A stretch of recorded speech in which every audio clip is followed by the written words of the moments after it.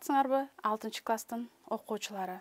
Адам жана коом предмети тарых. Адам жана коом мугалими иманбекова марал курманбековна. Силер менен болмокчумун.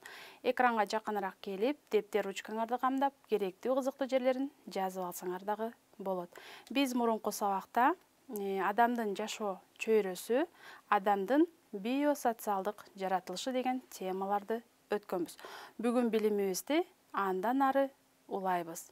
Балдар сабакты баштаардан мурун силерге кызыктуу аңгеме айтып бергим келип жатат. Андай эмесе куунт коюп угабыз. Бир чака алма. Бир киши бакчасы бар кооз жаңы үйдү сатып алат.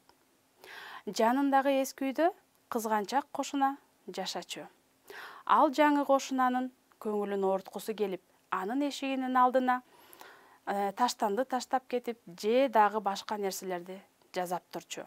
Бир күнү жаңы кошуна эртең менен жакшы маанайда уйкудан туруп үйүнүн алдына чыкса бир чака жугунду турат. Ал чаканын ичиндегисин төгүп чаканы жалтырата жууп ичине бакчасындагы алмалардын чоң чоң бышкандарынан толтура терип кызганчак кошунасына барат. Эшигин кагылганын уккан кызганчак кошуна акыры тажаткан экенмин. Э деп табалап жылмаят. Азыр чыр болот деген үмүттө эшигин ачса кошунасы бир чака алманы сунат да ким эмнеге бай болсо ошонусу менен бөлүшөт дейт. Демек балдар ниети жакшы тилеги таза ою калыс жакшы адам сылык сүйлөп жакшы мамилеси менен бөлүшөт. Ниети бузук арам ойлуу киши ушак сүйлөп жала жаап көөдөндөгү көөдөй кара орой суук сөздөрү куйтку мамилеси менен бөлүшөт экен. Кана балдар бир саамга ойлонуп көргүлөчү силер эмнеге бай экенсиңер? Адамга эң кыйыны күн сайын адам болуу демек бүгүнкү темабыз адам менен байланыштуу. Сабагыбыздын темасы адам өзүн өзү кандайча таанып билет адамдын организминин мүмкүнчүлүктөрү бүгүн э, биз сабакта адамдын өзүн өзү таанып билүүсү жана эрежелери ден соолук жана узак жашоо зыяндуу адаттар жана анын кесепеттери мына ушул маселелерге токтолобуз адамдын өзүн өзү таанып билүүсү адамда мен деген түшүнүк эрте эле пайда болуп өнүгөт. Тили жаңы чыккан бала да мен өзүм жазайм деп айтуу менен өз оюндагысын бербейт. Бул болсо анын өз алдынча кадам жасоого күчүм жетет дегенин билдирип турат. Бала өспүрүм курагында мен киммин? Мен кандаймын? Башкалардан эмнем менен айырмаланам? деген суроолорго жооп табууга аракеттенет. Мен башкалар билбегенди билем мен баарынан жакшы окуйм деген сыяктуу мен деген түшүнүк менен өзүн өзү жогору сезүү. Же болбосо менменсинип бой көтөрүү башкаларды өзүнөн төмөн коюу шылдыңдоо өңдүү сапаттардан кантип күчөп кеткенин адам өзү байкабай калышы мүмкүн. Ар бир адамдын өзүндө мен деген түшүнүк болот мен деген түшүнүк адамдын башка адамдар менен болгон мамилесинин негизинде түзүлөт. Айрым учурларда мен деген түшүнүк адамдын мүнөзүн абдан өзгөртүп жиберет. Ошондуктан адам ар дайым өзүнүн адамдык сапаттарынын үстүнөн ой жүгүртүп кемчиликтерин оңдоого аракет кылып туруусу зарыл. Адам өзүн өзү таанып билүүсү үчүн илимдүү билимдүү болуудан мурда адепти үйрөнүш керек. Улууну урматтап кичүүнү ызаттап адептүү болууга аракеттенишибиз керек англиялык жазуучу сатирик уильям текери коом бул күзгү ар кимге анын өзүнүн сүрөтүн чагылдырып берет деп айткан. Демек башка адамдар күзгүнүн ролун ойнойт. Ага каранып биз өзүбүзгө баа бере алат экенбиз. Эгерде адам айтылган сынды туура кабыл албаса өзүн өзү оңдобосо олуттуу кыйынчылыктарга туш болушу мүмкүн өзүн жөнүндөгү башка адамдардын пикирин эсепке алуу абдан маанилүү. Бул сенин баардык жакшы жактарыңды жана кемчиликтериңди туура түшүнүү менен өзүңдү туура баалашыңа мүмкүнчүлүк берет. Өзүн өзү таанып билүүнүн жолдору. Адам өзүнө өзү сын көз менен карап өзүнүн ким экендигин эмнеге жөндөмдүү эмнеге жөндөмсүз экенин билиши керек ошондой эле өзүнүн адамдык сапатын мүнөзүндөгү кемчиликтерин сезүүсү абдан маанилүү. Жакшы адам болгуң келсе өзүңдү өзүң таанып билүүгө үйрөн. Анткени адам өзүн таанып биле алганда гана өз мүмкүнчүлүктөрүн билет. Ийгиликтерди жаратууга жетишет. Өзүн өзү толук башкара алат. Элибиздин накыл сөздөрүнө дагы адам улуулугун даңазалап адам деген атка татыктуу болууга чакырып келген. Ар бир э, накыл сөзүндө жакшы адам болууга чакырууну туябыз ден соолугуңду көздүн карегиндей сакта. Мактанчак болбо сөзүңдү далилдүү айт. Бүтүрбөгөн ишти бүтүрдүм дебе. Аз жеп аз укта ар ишти акылга сал. Көп сүйлөбө көп күлбө катуу музыка укпа. Бирөөнүн жакшылыгын мен кылдым дебе жөнөкөй бол бой көтөрбө ачууга алдырсаң сөздүн артын байкап сүйлө жана тилиңе сак бол. Өзүн өзү таануунун эрежелери өзүңө өзүң сын көз караш менен кароого үйрөн өзүңдүн жеке мүмкүнчүлүктөрү сен эмнеге жөндөмдүү экениңди билгиниң өз акыл эсиңди билим деңгээлиңди аныкта адамдык сапаттарыңды көндүм адаттарыңды мүнөзүңдүн жүрүм турумуңдун кыял жоругуңдун оң жана терс жактарын бил үйдө айылда мектепте дос курбулар ичинде жана эл арасында өз ордуңду сезе бил адамдын күзгүсү адам. Бирөөнүн кеп кеңешин ук өзүңдүн ата энеңдин мугалимиңдин же дос курбуңдун э, көзү менен кара. Алар аркылуу өксүк жактарыңды көрүүгө аракеттен. Улуулар тарабынан айтылган акыл насааттарга көңүл коюп уккан э, көргөнүңдү эсиңен чыгарбай көкүрөгүңө түйө билип туура ой жүгүртүүгө дагы үйрөн. Өз артыкчылык жактарыңды бил бирок ал үчүн мактанба бирөө сын пикир айтса аны туура түшүнүү менен кабыл алгының аны эмне себептен сын айтып жатканына маани берип талдаганга үйрөн өз сөзүңдү убадаңды ар дайым өз убагында аткарууга көн.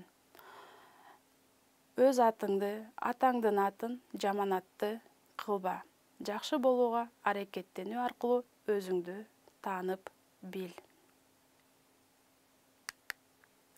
сен эмнеге жөндөмдүүсүң?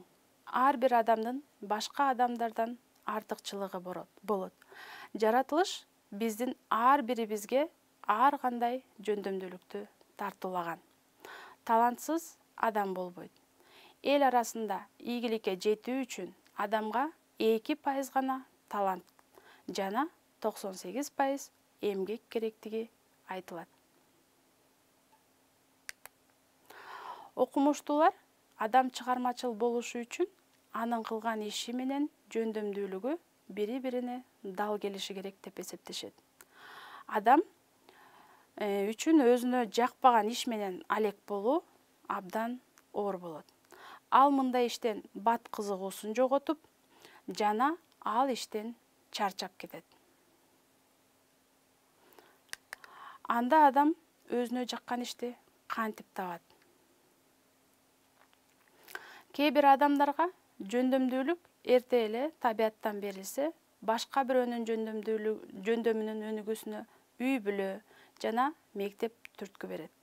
Балдардын чыгармачылыгынын өнүгүүсүнө ар түрдүү иримдер студиялар клубтар жана чыгармачылык борборлордун түздөн түз таасир этет. Эң башкысы өзүңдүн эмнеге жөндөмдүү экениңди сезе бил. Адам болуш үчүн улуулардын жолун жолдоп келечекке жол сала билиш керек. Кыргыз ойчулу калыгул бай уулунун сөзүнөн. Адам өзүн өзү баалай билгенде гана ийгилик жарата алат. Кыргызда өзүңдү өзүң сыйлабасаң өңгө да сени сыйлабайт деген учкул сөз бар. Ошондуктан өзүңдүн артыкчылыгыңды көбүрөөк көргөнгө аракет кыл. Ал мактанчактыгың эмес өзүңдү баалай билгениң. Ар дайым жылмайып көтөрүңкү маанайда жүргөнүң негативдүү көз караштардан сактайт. Адамдарга дайыма жакшылык кылууга умтул мисалы кара адамдардын баштыгын көтөрүшүп кой коомдук транспортто орун бер. Алардын сага ыраазы боло жылмайып караганы кара адамдын батасы айткан ыраазычылыктарынын баары сага канат болот өзүңө ишеним тартуулайт. Жалкоолук сага ийгилик жаратууга чоң тоскоолдук кылат. Андыктан жалкоолук сапаттан алыс бол адамга эң кыйыны өзүн өзү таануу эң жеңили бирөөгө кеңеш берүү болуп саналат. Адам организминин мүмкүнчүлүктөрү ден соолук э, жана узак жашоо. Ден соолук бул адам баласынын жашоосунун эң негизги шарттарынын бири. Кыргыз эли биринчи байлык ден соолук деп бекеринен айтпайт. Адамдын ден соолугу биологиялык жана социалдык факторлор менен белгиленет. Дени сак адам деген түшүнүк адамдын ден соолугунун чыңдыгын аныктайт ден соолуктун абалына географиялык чөйрө да таасир этет. Мисалы түздүктө жашаган дени сак киши бийик тоолуу жерге барганда башы ооруп өзүн начар сезет. Адамдын ден соолугуна алардын эмгегинин мүнөзү эмгек жана жашоо шарты дагы же тамактануусу дагы таасир берет. Ден соолукту чыңдоодо спорт менен дене тарбиянын ролу дагы абдан чоң ошондуктан ар бир адамдын ар дайым кыймылда болуп туруусу зарыл.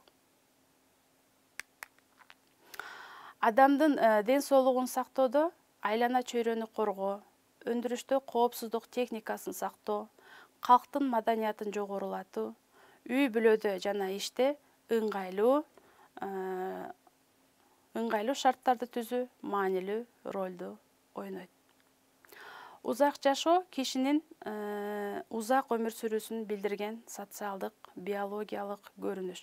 Айрым адамдардын токсон жүз жаштан жогору жашаганын өзүбүз көрүп билип жүрөбүз.